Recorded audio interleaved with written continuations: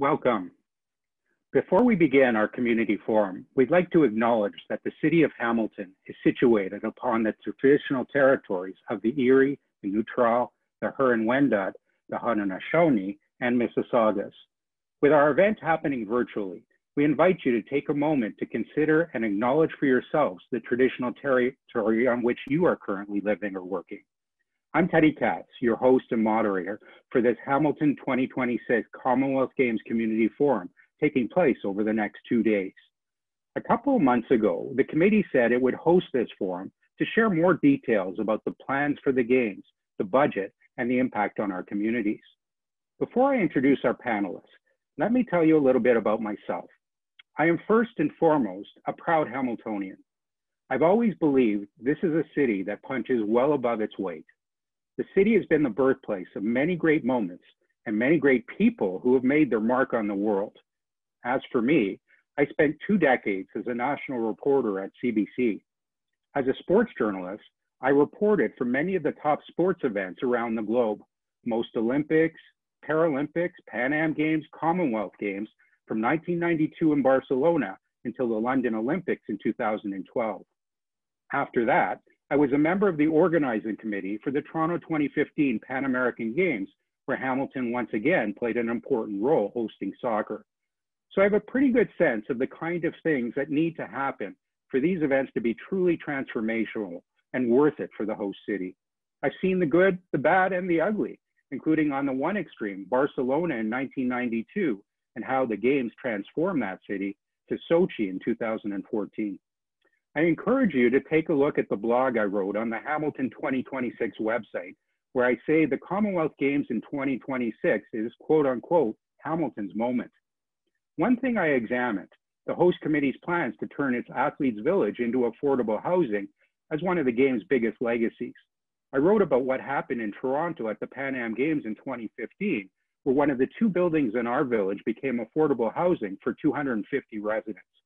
After the Games, almost half of the units went to refugee families or newcomers. Other tenants include veterans, seniors, people with disabilities, and previously homeless youth. One family came from Iraq, escaped from a life of violence and oppression, and now have a new home. So these events done the right way can really change lives. Indeed, affordable housing and the social impact of the games is such a key part of the hosting plan that we're holding a second community forum tomorrow afternoon at the same time to discuss those plans in details. Today, four of the leaders behind Hamilton 2026 are here to speak to you directly about why they believe this is an unprecedented opportunity. We'll spend the first 20 or 30 minutes hearing presentations about the overall vision and roadmap for the 2026 Commonwealth Games. You'll hear a budget update. We'll provide a big picture of what the games will look like from a sports point of view. Most importantly today, the committee is here to listen. In the last hour, the committee wants to hear from you to help customize the plan even further so it creates the kind of significant economic and social impact that will transform this region. You can ask questions directly to the panelists by clicking on the Q&A button on your screen. We've already received several questions in advance, and I'll try to read out as many as possible in the time we have. A summary, summary of the responses will be available on the hamilton2026.ca website. Without further ado, let me begin by introducing our first panelist, Louis Frapporti. Louis is the managing partner of Gowling WLG Hamilton and a key member of the Games team. Louis will share the overall vision for the Games. He'll tell us why Hamilton is in a unique position to design a Games that meet the specific needs of our region. Louis, the floor is yours.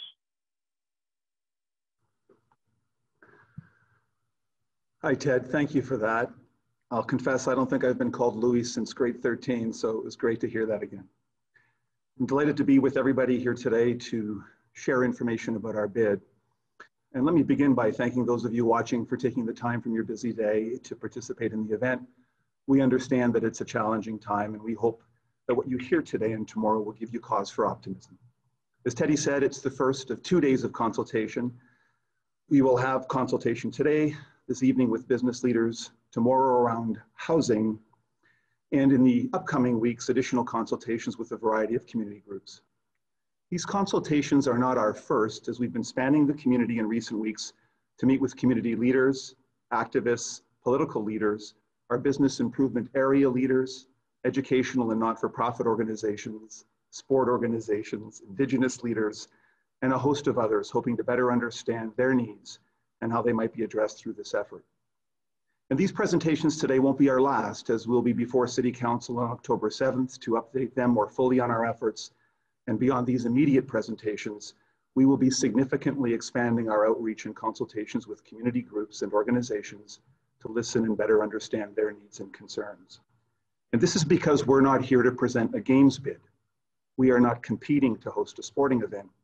We're here as part of the Commonwealth sporting community, working to figure out how we can collectively create a movement, a movement focused on social impact using the games. Earlier this year, before the pandemic and shutdown and masks were a reality, I had occasion to speak at a community summit my colleagues and I at Gowling WLG hosted. In my remarks, I focused on what I see as the fundamental challenge before us, and I'd like to briefly revisit those remarks with you now as relevant to our work here. What we see with disheartening frequency in the world around us and increasingly here in Hamilton, on the streets, on social media, at council, on the news, is conflict, antagonism, anger. You know what I'm talking about. In all of this, we've come to accept the fiction that we're battling each other, that we're always in competition with each other. People, organizations, groups, constituencies arguing and competing with each other for limited resources, with every decision being about the selection of winners and losers. And the winners tend often to be the same, and the losers likewise. For some in this current conversation, that competition is presented as follows. If we spend money on games, we won't have it for housing of the poor. We understand why that's said, and that it is said for completely understandable and justifiable reasons. But respectfully, as we believe you'll come to appreciate, this is a false choice. What we are inviting with great humility is volunteers who love this community and who in many cases are not even from this community, but are drawn to the vision of what the city can be, is that we try to see this opportunity differently. We would invite you to consider that the many conflicts in our community, of which you are all well aware, are not about or even with each other. Ultimately, they're about a much more menacing and powerful opponent. The battle we're all fighting, or should be fighting, the battle which our volunteer group is fighting with all of our hearts, is a battle against the absence of opportunity, a lack of resources and support, and the feeling of hopelessness, despair, and righteous anger that those deprivations give rise. Suffering, to be sure, that has always afflicted our disadvantaged communities disproportionately, but owing to the great equalizer of suffering that the pandemic is, this deprivation, fear, and insecurity has virtually all of us in its grip. As confusing as this may seem to some, it is against this formidable menace that all of our efforts around these games are focused. It is why we are doing this. It is why we are doing this now. Our passion and commitment as volunteers arises from our unique understanding of the power of sport, of the unique opportunity that the Commonwealth Games presents, but mostly from our awareness of the implications of having the unprecedented ability for the first time ever to have an international sporting organization that encompasses 71 nations and territories, a third of the world's population, and well over a billion people spectating, to have all of this be offered up to us in our community to use as a tool and instrument of change, a weapon even, so that we might collectively conquer this menace of despair right now together. For the first time, a community, a province, a country is not being asked to support the success of a global sporting property. A global sporting property is offering itself up to support a community at its moment of greatest need. With an offer to bring a powerful group of allies to this fight, many of whom are already here fighting for Hamilton right now. And so we're not here presenting a bid for others to judge. We are offering our minds, our hearts, and a hand, as are countless others around the world, inviting you to take it and to work with us, with other communities in this region and in other parts of the world, to collectively build something that can change this community forever and show it for what it is, for what we are, under the rust and grit, a remarkably diverse, compassionate, innovative, and determined community that has the confidence to not only transform itself, but to aspire to change the world while welcoming. What you're about to see is an initial concept for our hosting strategy. Some or most all of it could change with feedback from you and senior levels of government, but it is our start. And so we begin a conversation today, And while we are doing most of the talking, we intend to do most of the listening as we move forward so that we can collectively create something truly remarkable that can give us hope, help, and heart right now. Back to you, Teddy. Thanks very much, Lou. I'll get that right now the second time. Lou will be back to answer your questions after our presentations. And don't forget to write in your questions in the Q&A box on your screen. I'd now like to call on our next two speakers. Greg Megchak is a manager of special projects for the City of Hamilton. Greg has worked for the city for more than 30 years and was responsible for organizing and planning all the Pan Am Games initiatives when Hamilton was host of soccer during the Pan Am Games in 2015. Greg will have details and some highlights around the venues. Greg will be joined by PJ Mercanti, president of Hamilton 2026. PJ is CEO of Carmen's Group, a local hotel and catering business that has operated for years in the city. Carmen's is a partner in a consortium the city recently selected to redevelop and operate several downtown entertainment venues, including First Ontario Centre, First Ontario Concert Hall, and the Hamilton Convention Centre. After Greg speaks about venues, PJ will give us an update on the budget. Greg, take it away. Thanks, Ted. I, I, will mention the viewers that I'm now retired. I retired about a year and a half ago. So I've made this pretty well my full-time volunteer commitment to work with such a great team to bring the games here. With the 2026 Commonwealth Games, we have a once and a forever chance to build facilities that many Hamiltonians some of which are you, have waited for your entire life, and now it's that time. And owing to the pandemic and the Federation offer, we can start building them right now, having them available far sooner than what we had hoped for 2030, employing Hamiltonians at a time that is most needed. Over the past two years, we have worked with some of Hamilton's finest architects, international venue consultants, and international sport architects to develop what we believe is a modest and practical approach for an incredible legacy of needed recreational and sporting facilities. I will only speak to three key sporting venues, but will touch briefly on the majority of them so you have an overview of the game's venue plan.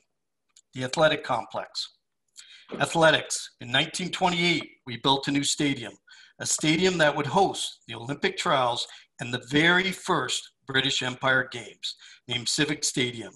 And in 2026, history will again repeat itself with a replica of that very first Civic Stadium, built, of course, to modern standards, with amenities like proper change rooms, storage, back of house, offices, community meeting spaces, a world class 400 meter track accompanied with a warm-up track and an additional 2,500 permanent seats, ideal for hosting regional and provincial events right here on Hamilton Central Mountain. And in the event the games proceed in partnership with Athletics Canada, we are working on a plan to expand this facility at private sector expense to include a year-round indoor track that could become the center of excellence for athletics here in Canada the Ancaster Multi-Sport Center. Recently, a feasibility study was done in regards to a multi-sport facility in our city, and it was determined that there is no greater need in this region than the need for additional gyms. With our plan, we have included a year-round indoor facility with a total of six gyms, which includes a show court and 1,800 telescopic seats. This venue will play host to badminton at the 2026 games, but post games will be the home to multiple sports like volleyball, basketball, and yes, pickleball for our seniors. It will include a glazed curtain wall for views into all six courts, a private lounge, meeting and community spaces, and offices to accommodate the primary user groups of the facility seven days a week in the community of Ancaster. We are so pleased to be partnering with Redeemer University College leadership in this effort, who are assisting financially with this project and will assume the operating costs of this facility following the games. The McMaster Aquatic Complex. The Mac Pool is over a half a century old. It is the oldest outdated 50 meter pool in all of Canada. And that is about to change if the 2026 games come to Hamilton. It will be replaced with a world class 50 meter, 10 lane competition pool with a thousand permanent seats. But it will also have, for the games, a second eight lane warm up pool to meet all international standards. But the second pool will be designed so it can be converted post games to a 25 meter community pool with a large therapeutic hot tub, providing both legacy for high performance athletes to recreational use for students, children, families, and seniors to use throughout the year on the beautiful campus of McMaster University. We're also delighted to be partnering with McMaster University and its strong leadership on this project as they too will financially support this effort. McMaster Aquatics Complex has been on the drawing board for over 30 years. This is the moment we can get it built for this community without waiting any longer. The other venues will be refreshed, renewed, and refurbished across our entire city the Hamilton Convention Center for table tennis, the International Broadcast Center and Main Press Center, Eastwood Arena and Park, a community hub and home to nine internationally sanctioned outdoor three on three basketball courts. How cool is that in the heart of our city, fully accessible for Hamilton's youth? Who knows, you might see Kia Nurse or Shea Alexander back home practicing during the season. Confederation Park, home to beach volleyball, a new field house, 10 courts, one show court, and all the amenities like proper change rooms, storage, with bleacher and patio seatings. Improvements to the J.L. Grightmire Market Street Arena for boxing, the Dave Andreychuk Arena for netball, Tim Hortons Field for rugby sevens and the opening ceremonies, which is, of course, the original site of the first opening and closing ceremonies. And how nostalgic and historical is that to our proud city. Extensive road work in Ancaster, Dundas for the time trials and road cycling events. And can you envision the vistas of those communities similar to when the world watched the ICU Road Cycling Championships in Hamilton in 2003? The nations of the Commonwealth will all have an opportunity to see just how wonderful these communities are and just how proud we call this our home.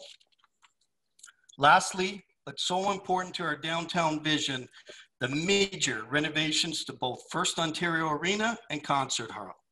Host to the closing ceremonies, artistic gymnastics, and weightlifting, led, of course, by our outstanding president, community volunteer, and a hugely proud Hamiltonian, Mr. PJ Mercanti.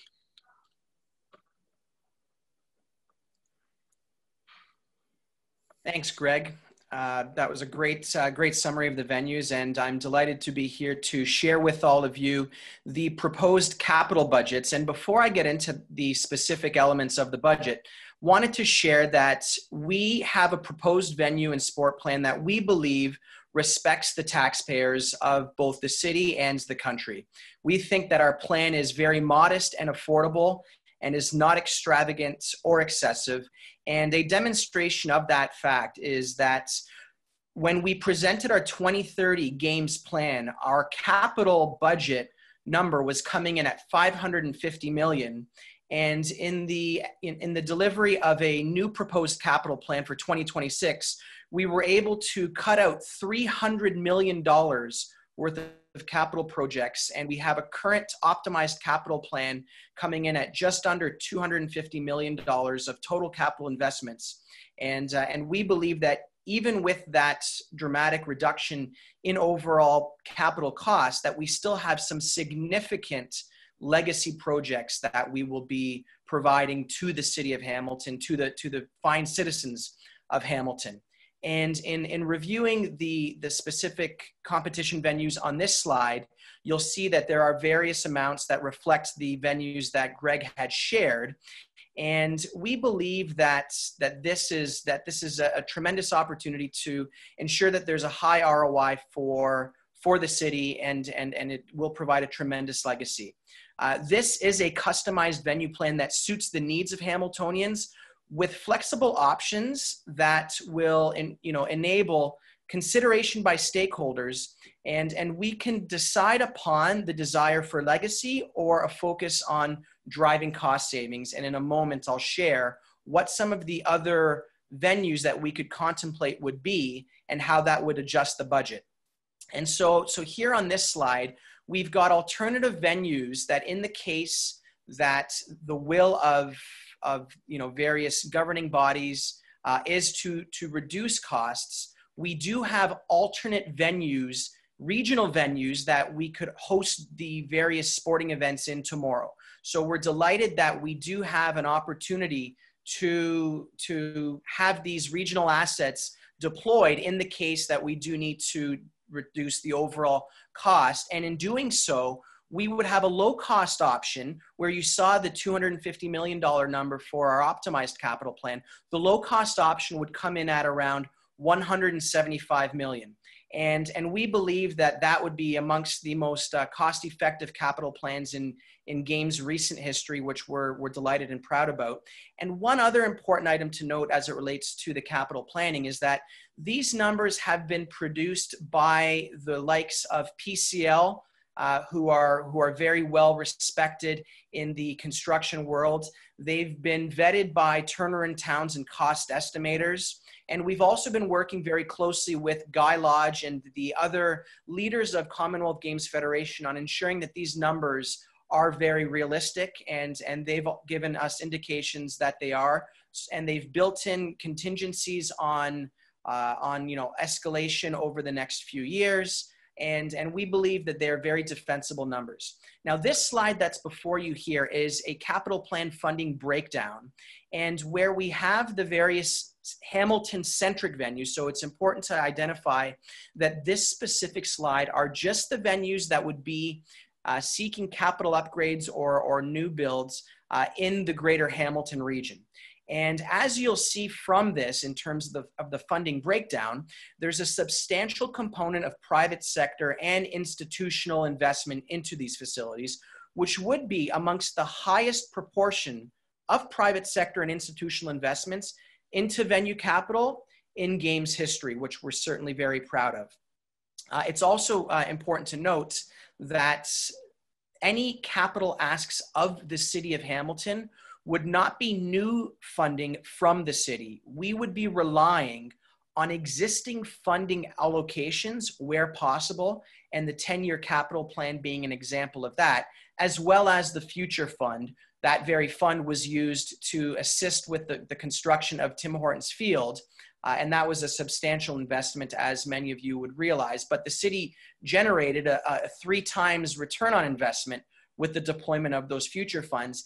And in the case of our capital plan, where this we would be contemplating a $35 million investment from the city of Hamilton via these various funding uh, components, it would yield a seven times return on investment for city dollars invested into the capital plan. And as you would see, that there would be a significant component of senior government funding to assist with the construction or refurbishment of these city venues.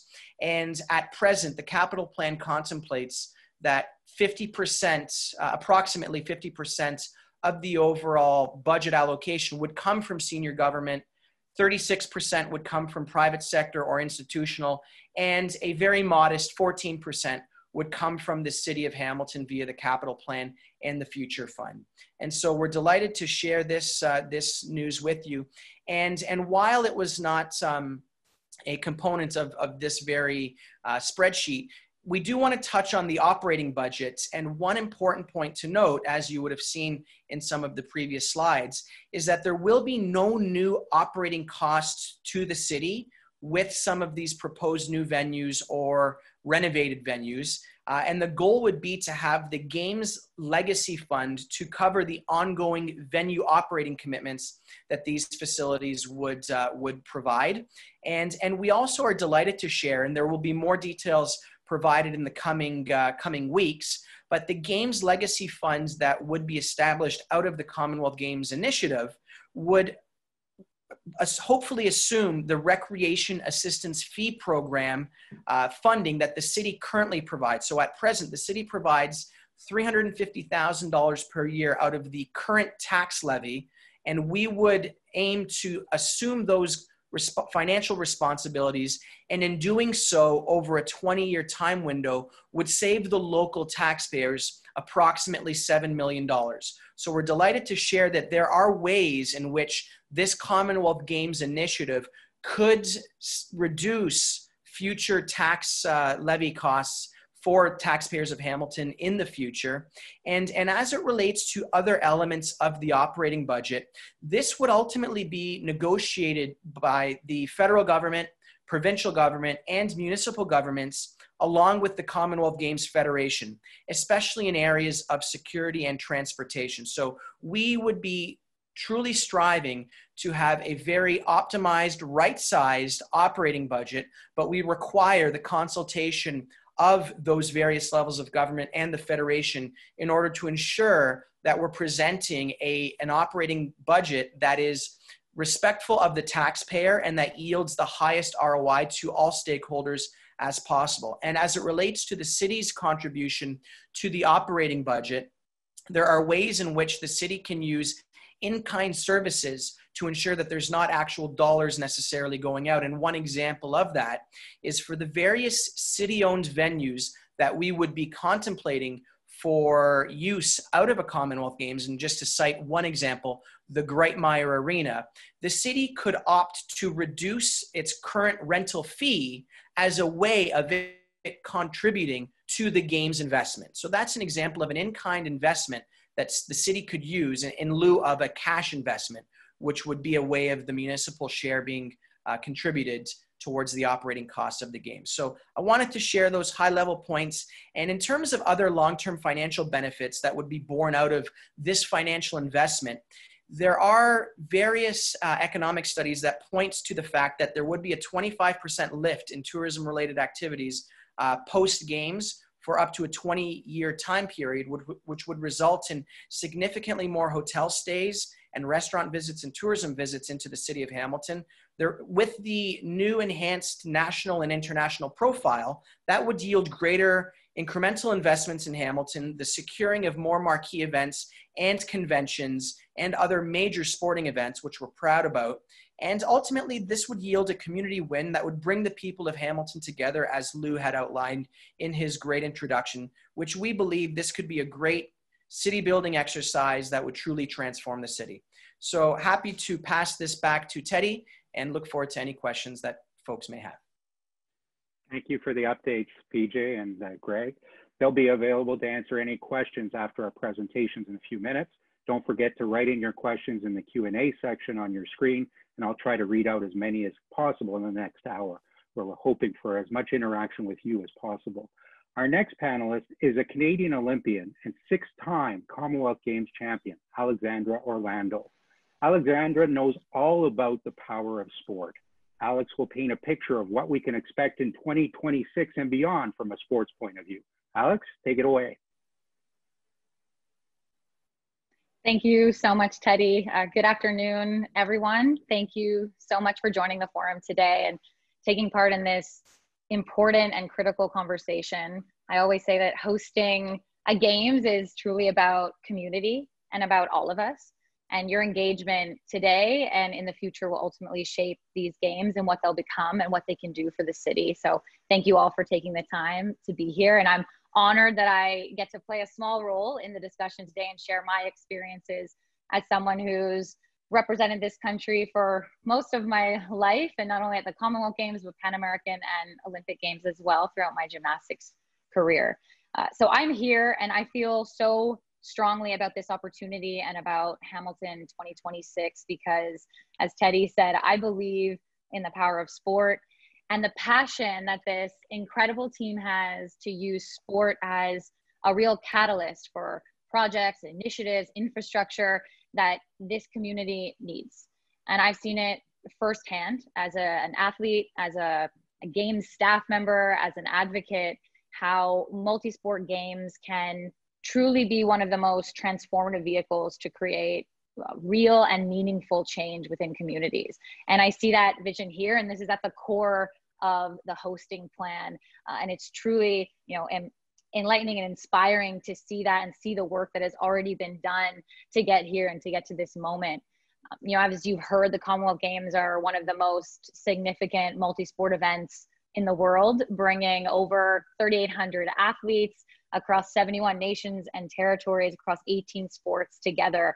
Um, but what really makes the Commonwealth Games unique, and in my personal opinion, is they're truly a sporting event and the only one I would I would say that leads from a place of inclusion. And you see that with the integration of para sport events as well as the values that the games and the brand and the movement represent of humanity, of equality, of transformation, of building stronger communities. Like this is when we say the Commonwealth sport movement, it it really is a movement because they are they're doing things differently and they're focusing on bringing athletes and communities and citizens together to create a better future and a better future for for all of us you know when i competed at the 2006 commonwealth games seems like a long time ago now uh, in melbourne australia standing on top of the podium, uh, wearing the maple leaf, and, and being able to carry the Canadian flag at closing ceremonies uh, has been one of the most incredible experiences uh, of my life. But what really stuck with me, you know, what really stayed with me and what keeps me doing what I'm doing now and why I work in sport and why I'm so passionate about it is, is I watched a city come to life. Uh, I watched families from all different walks of life and different socioeconomic backgrounds participate in the games, pack arenas, go to cultural events, get up and close and personal with athletes and be be inspired firsthand. Uh, I saw a city that used you know iconic venues and repurposed them for different sports events uh, and cultural demonstrations. So I compete at the Rod Laver Arena, which was a tennis fan, uh, it, it was unbelievable. I could feel the energy even stepping foot there. But those are the the moments that people don't forget, and those are things that still give me you know goosebumps to this day. And and it hit me that it impacted me in such a way that I've never experienced anything like that before. Uh, that was the first time as an athlete I thought, you know, this this is bigger than me. This is this is about way more than just my few minutes, you know, on on the mat uh, representing my country, uh, we can create real change here. And part of the movement that also makes it so unique was, you know, the, res- the great respect and the great involvement with the indigenous communities and the local youth as a part of this movement and a part of bringing a games together that's that's going to create real legacy and not just venue legacy and infrastructure legacy but human legacy as well. And so i'll just i'll just end with this. As you as you clearly probably can tell i'm this means a lot to me and it's something that's very close to my heart. Uh, but as lou mentioned earlier you know we're living through an incredible incredibly challenging time. We see division and, and fear and uncertainty around us and sport is one of the few things that unifies us and allows us to believe in the possible and believe in the incredible things we can achieve when we're working together. And Hamilton 2026 is an opportunity for us to not only be proud to host the Commonwealth, but to showcase our great people, our innovation, our businesses to the world and create something that will address the needs of our people and of our region. And as you heard, access funding that we'd never have the opportunity to access, or it would take years to be able to get to that point to accelerate projects that we need right now. Um, and so at the end of it, and at the end of the story for me too, um, I just want to kind of leave you with the thought that the games and Hamilton 2026 will, you know, inspire us all to be best versions of ourselves and build stronger communities, healthier communities, more resilient communities for us, for our children, uh, where no one is left behind. Thank you. Thank you.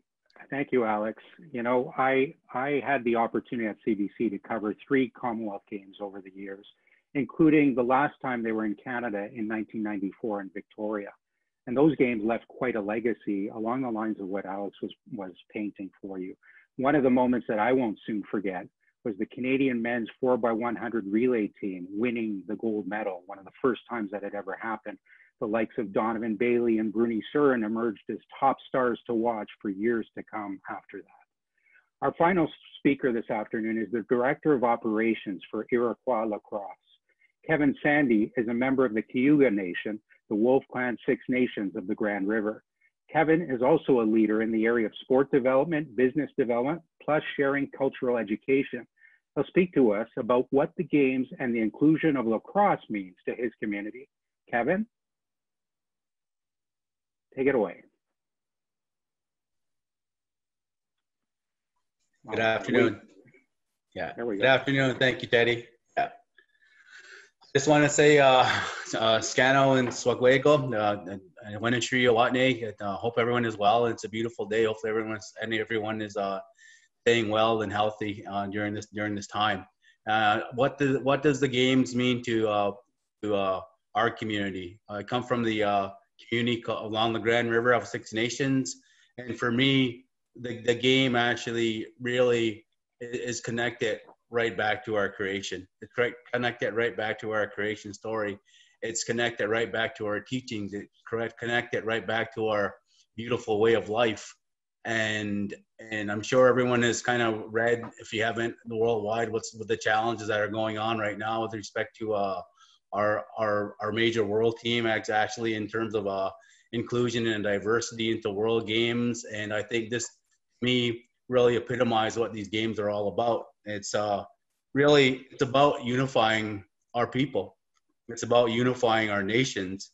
It's about that catalyst for change and transformation that individuals have talked about. It's actually about an opportunity that individuals have and communities have to um, build a bridge and a better understanding of one another. And I think that's an opportunity that I see not only from a community and social change, also in, in the economic in an economic sense as well. I see it as a uh, any investment into into communities actually results in change and transformation, employment, knowledge, skills development. It, re, it, results to me in in an opportunity for all of us to um, come together.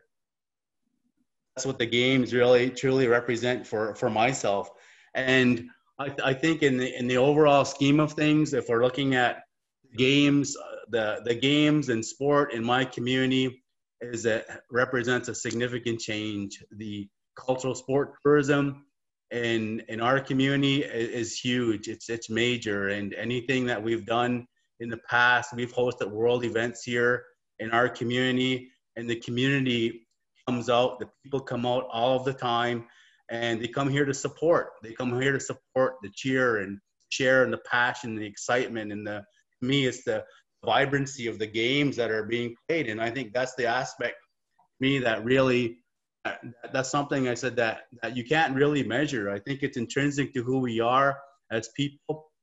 It's something that is is is significant, and and it and I think that significant lends itself uh, very well because the game, as you see, is connected, connected to our mother, the earth. It's connected to our spirit. It's connected to everyone. In the game, while, while it's while it's uh, our game is uh, Canada's national sport, it was used to connect people together. It connected this nation together. It connected nations of people together from all walks of life. And really, that's what this game is all about.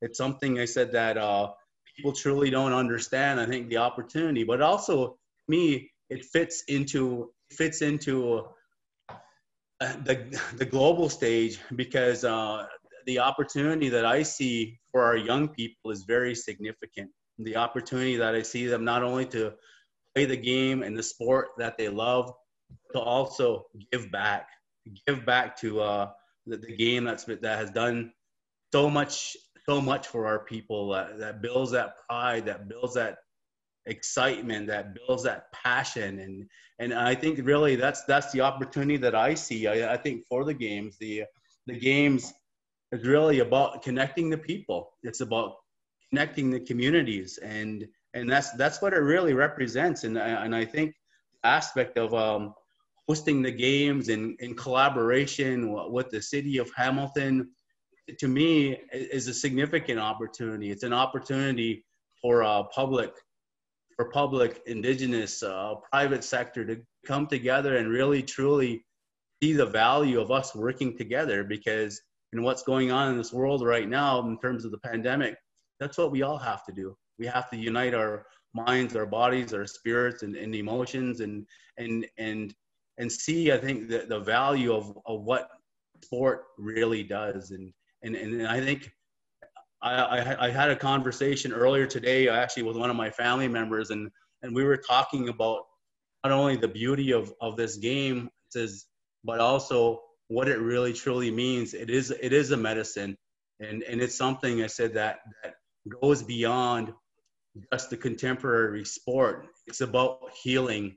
It's about giving back. It's about uh, a change. It's it's about transformation. It's about inspiration.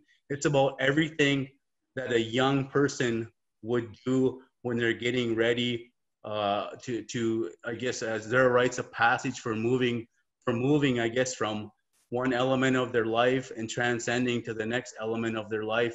And, and I think that's really what athletes have to do. Athletes have to do that when they're actually looking at themselves. They look at mind, body, spirit, physical, mental, and emotional. And I think that's something I said that that we're always involved in. And as a community, as a community of, of here of Six Nations, and that's something I, I know our leadership here, we'll say both uh, both councils sit down here would totally stand behind what's happening because the, the significant part for me is that would be an opportunity to welcome the world It'd be a welcome an opportunity to welcome the world and working together showcase our beautiful cultures, you know, our, our beautiful languages, and and and and in the way that we do things. And I think that's it's like you invite I invite people into my home, into my come to see my family. That's what happened within the spirit of the games within the city of Hamilton. It's that opportunity to to, to really, I think, look at it as a family, look at it as a nation, and looking at looking at it in terms of uh, what what it can do for all of our communities. Not only does it fit into the uh, urban indigenous strategy in, uh, that the, that the city of Hamilton is working on, but also it fits to me uh, from a global level into what what we're aspiring to do with our with our national men's and women's program and sport me makes a significant impact. It always has. It always will. Uh, right from right, I guess, right from day one, right from our from our creation story when the game was gifted to us, and I think that's something me that represents significant value to the people, and and really that's what it's all about. And it's and it's really an opportunity to create some meaningful dialogue, working with communities and uh, working in partnership. And I, I worked with Greg and, and some of his colleagues on, on the Pan Am Games, in, not only in Hamilton, but I was in Toronto as well. And, and, and our community played a significant role even in building some of the infrastructure at Tim Horton Stadium in, in Hamilton. We had like erectors, we had tradespeople working down there as well. And that's, and that's the kind of collaboration that, that, that I can see from a community standpoint, we, we have so many uh, knowledgeable, skilled individuals from my community who would, who would love to an opportunity to be part of the games. And, and even when it comes to uh, the media, the broadcasting, being it out globally, uh, uh, the youth, I see the youth being an excellent part of this because they're all up on social technology and media and everything that goes along with that. And, and really, that's, that's what I see. The, the game the game that we call in our language is actually uh, it's more than just a sport. It makes a difference in my community's life. It makes a difference my people's life. It makes a difference in the nations across the world's lives. And and I and that's that's what actually the game and our participation in the games will do. It, it'll result in a significant impact to people people and, and that's really the beauty of hosting all of these games is uh is about empowerment it's about inspiration and it's about really changing the way we do things the way we see one another and it's our commitment of working together to collaborate for change and better understanding. That's what the games truly mean for myself. It's and i i, I can't speak for all of all, all of our families in my community but I know that's that's what it's that's what it's done for a number of individuals who, who play not only at the local level in Hamilton, who play uh, provincially, who play nationally, who play internationally. It's about unif- unification of our nations, and I think that's really that's the greatest stimulus that anyone can have. And as soon as you can inspire and empower a, a young mind, and we can do that and mobilize and take action to make it happen, we're we're sharing what our purpose is. Everyone in this world has a purpose. Everyone in this world has a gift that's been given to you, and we appreciate, we respect, we show that love to one another, and great and wonderful and beautiful things happen. And that's what the games represent to me as a Ongwehongwe male. And I know even Ongwehongwe females, that's what it represents to them. But I think that's what it represents to, to, to, to Canadians alike and people from, a, from across the world. It's an opportunity for change. It's an opportunity for mobilization, but it's an, it's an opportunity for us to communicate and collaborate and work together. Yeah, and uh, I'll turn it back over to uh, Teddy.